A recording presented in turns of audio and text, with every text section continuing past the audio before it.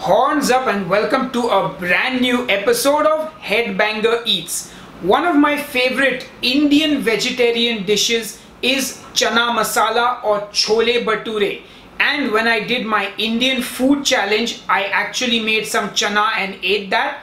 Even when I was doing my Athlean X food challenge, I made a version of chana masala with paneer, which is an Indian fresh cheese, and ate that. So today I'm going to show you how to make my chana masala. Anyway, enough jibber jabber, let's cook. So for this recipe, we're going to be using white chana or Kabuli chana as it is called and we're going to soak it overnight in water or for 8 hours at least. This is an essential step and don't skip it otherwise your chana will be very hard. And you can see the difference in the regular chana and in the chana that has been soaked overnight. Now I'm going to use a pressure cooker to cook the chana but you can also do it without one. So I'm going to put the chana into a pressure cooker. I'm also going to add two bay leaves and my secret ingredient which is a chicken stock cube. You can also use a beef stock cube and you can also just add salt. And I'm also going to add in one tea bag. Now this is to basically give it a darker color. Anyway, then I'm going to pressure cook the chana for about 15 minutes or so and just let it cook. Once it's done, allow the pressure cooker to cool down and then open it up. And now our chana is ready to use. I'm going to get rid of the tea bag. I'm also going to remove the bay leaves. And yep, this is pretty much good to go. And the chana should be cooked enough that you can smash it between your fingers and it's nice and soft. If it's a little hard, you should pressure cook it some more till it's nice and tender. Now to make the chana masala, I'm going to get a saucepan on the stove and I'm going to heat up a whole tablespoon of ghee. You want to measure this out so that you don't use too much because we don't want this to be a very fatty chana masala. Into that I'm going to add some onions and I'm going to season the onions with a pinch of salt. I think this just kind of helps to bring out the sweetness of the onions. Now you want to cook these onions till they start to turn translucent and I kind of forgot that I had the onions on the stove while I was looking for my garam masala but I saved it just in time.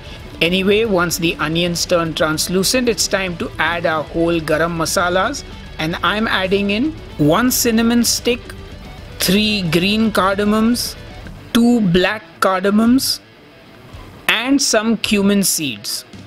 Now I would have also added cloves in but since I didn't have any I just left them out. Anyway give that all a good mix and you just want to let the onions and the spices fry. Anyway now I'm going to add in some freshly chopped ginger and some freshly chopped garlic. And then I'm going to give it all a good mix and let it cook. After about a minute or two I'm going to add in my masalas now.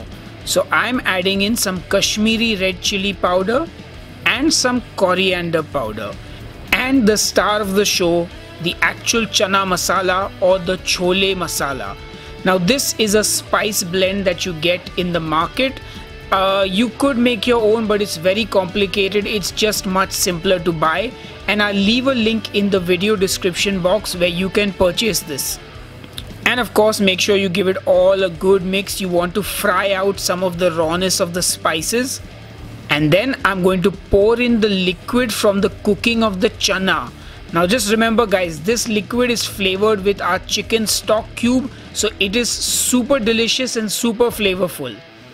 I'm also going to add in about 150 ml of tomato puree Alternatively, you can just puree a tomato at home and use it or you can even use chopped tomatoes. But if you're going to use chopped tomatoes, I would recommend adding them much earlier. Anyway, I'm going to give everything a good mix and then cover it with a lid and let it cook for at least 7 to 8 minutes. So after about 7 or 8 minutes, we're going to check in on it and if you can see the oil having separated from the tomato paste, you know it's ready. So give it all a good mix now at this point I'm going to add in my chana. Anyway give that all a good mix. Now I'm also going to pull out that cinnamon stick and set it aside because it's just getting in the way. And now we're going to cover it and let it cook for another 2 to 3 minutes. And now ladies and gentlemen, if you're happy with the chana, it's pretty much ready. And now I'm just going to fish out those black cardamoms and discard them. Trust me, there's nothing worse than biting into an elaichi when you're eating food. But I want to add another layer to this and I'm going to add in some chopped paneer. Now paneer is a fresh Indian cheese and I'm adding it one because it adds a nice little sort of variation to the regular chana masala and it's also very high in protein and it's a great protein source for vegetarians. So in case you didn't know chana is actually more carbs than protein so the paneer kind of balances it out and makes this a more high protein dish. Anyway give that all a good mix let the paneer sink into that gravy and then I'm going to cook it for well another few minutes so that it absorbs some of that flavor.